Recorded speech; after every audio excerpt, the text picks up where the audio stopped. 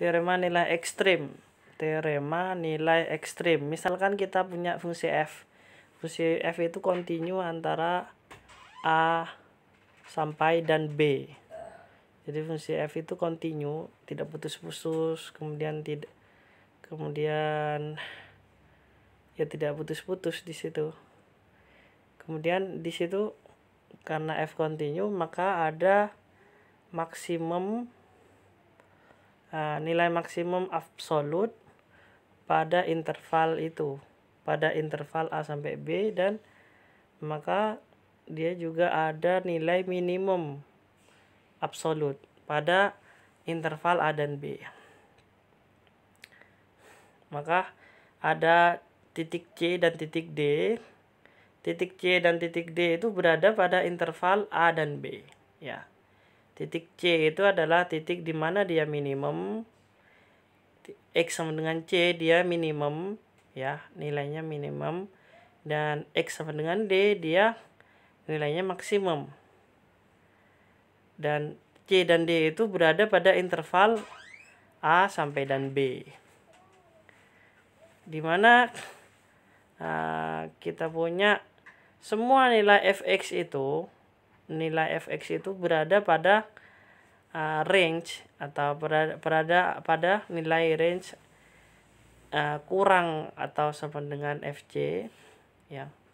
Lebih besar kurang atau sama dengan fd dan lebih besar atau sama dengan fc jadi minimumnya intinya maksud saya adalah semua nilai fx itu adalah berada pada interval nilai y-nya itu berada pada interval fc sampai dan fd.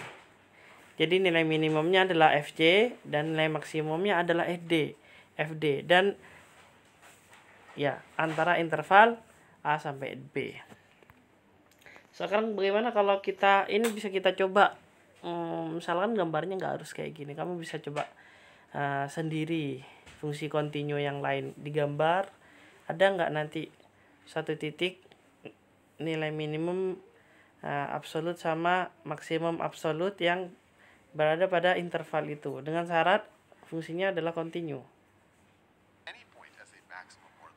jadi kalau kita gambar jadi nilai minimumnya adalah fc ya kemudian nilai maksimumnya adalah fb dan nilai fx yang lain itu berada pada antara FC dan FD itu. Ya. Berada pada nilai FC dan FD. Karena nilai maksimumnya adalah FD, nilai minimumnya adalah FC.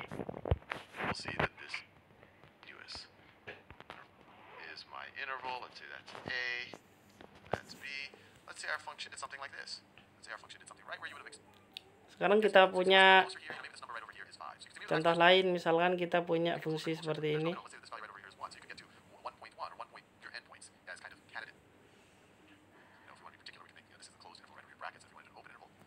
Pada interval A sampai B.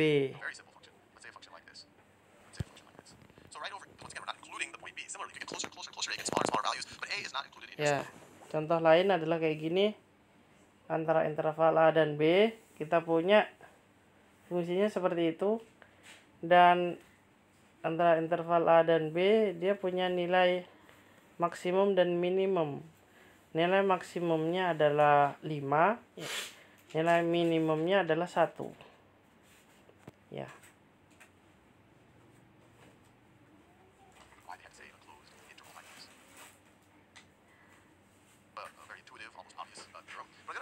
Jadi selama fungsi itu kontinu antara A dan B, kita bisa dapatkan satu nilai minimum dan maksimum pada interval X antara X sampai dan B